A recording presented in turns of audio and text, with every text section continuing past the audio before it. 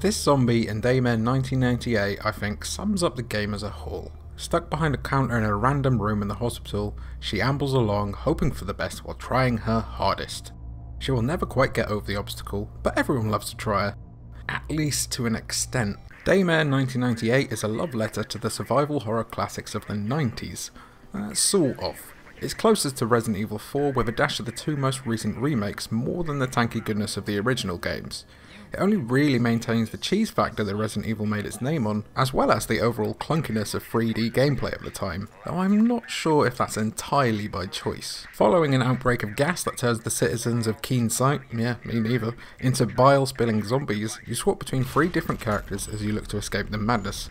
Only one of them, Sam, is distinctly different, him seeing hallucinations as a result of him not taking his medication. While having multiple characters gives Daymare 1998 a lot more variety, even if you retread some steps in another shoes later on, Invader Studios seem to have taken far too much on for such a small team. Though not an outright disaster, Daymare is an unintuitive, imbalanced and constantly frustrating walk down memory lane that struggles with its ambition without the budget or manpower to match.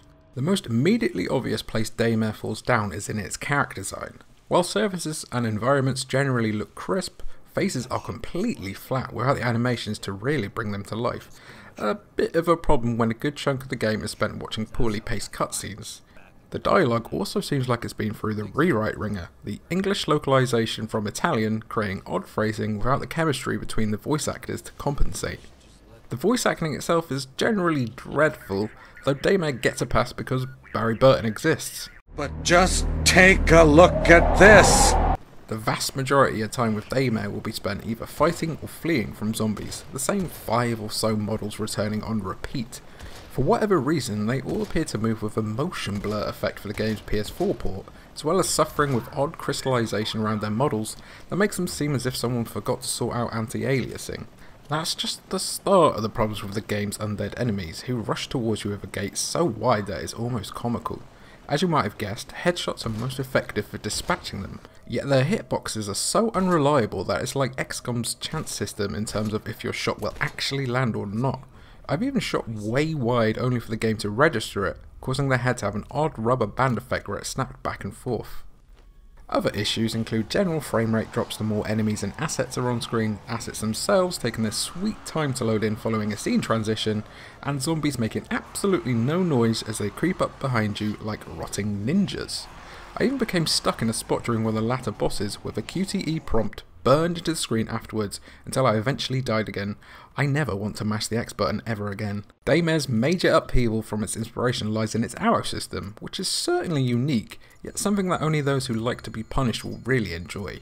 You must individually reload magazines for your pistols by going into your inventory, which doesn't pause the game, by the way, and then combining ammo with said mag. The novelty of the mechanic wore off very quickly for me, especially with the game being as overall cumbersome as it is. You can hotkey your mags to triangle and also healing items to circle, though this is barely less of a faff than venturing into your inventory. Daymare 1998 made me constantly question whether I needed to buy a new DualShock 4, as the game simply does not seem to register button presses that well at all. You really need to jam the input sometimes for it to pay attention. This is especially infuriating when you're trying to sprint away from enemies, reload in the middle of battle, or, well, do anything. I had initially intended to complete the game on its hardest setting, but the game's clunkiness weighed me back to normal before long. I struggled to make every bullet count when the game sometimes didn't even want me to use said bullets. Even normal difficulty felt like an arduous slog, hours of progress feeling like days. So many deaths are a result of the game's horrific balancing, which just gets more lackadaisical the deeper you go. Ammo conservation is a key component of survival horror, something that I was keenly aware of as I zipped past the zombies time and time again. I say zipped, but it was really more of a concerned and begrudging shuffle. The game's main gambit for scares simply involving a zombie waiting around a corner over and over again that you cannot avoid because of how heavy movement feels. Sometimes just trying to do something as simple as just looking left and then right seems to really mess with the frame rate in Daymare.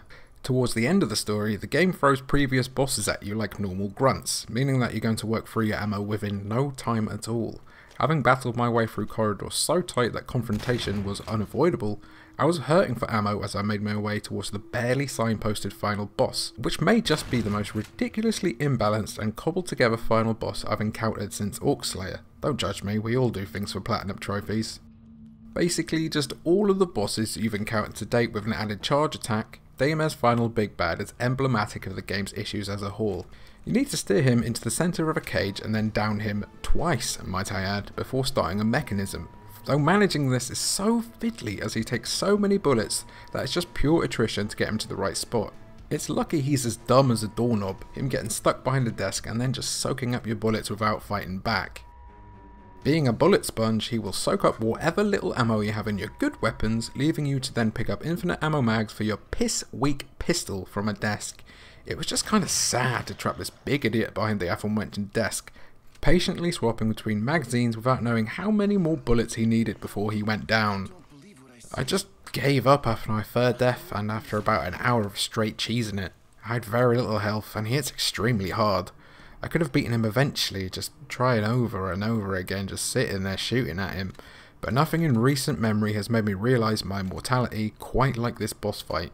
To Daymare's credit, it does seem to absolutely adore its inspirations, as well as wider horror culture. Its overall tone flits between self-knowingly corny and overly serious, which is perfect for a Resident Evil homage really.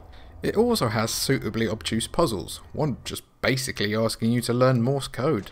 As well as that, the game is packed with extensive lore to read up on, easter eggs aplenty, and a load of trophies for completionists to tick off. There's even an entire location that is a nod to the developer's studio. A nice touch. I just wish those developers hadn't cast their nets so wide that they had stripped back their scale and really focused on a single location, like, say, a mansion, so that they could properly polish and focus on making the best game the budget could manage. While Daymare 1998 is a love letter to the classics that a lot of survival horror purists might enjoy, there's not a whole lot about the game itself to love. 3.5 out of 10.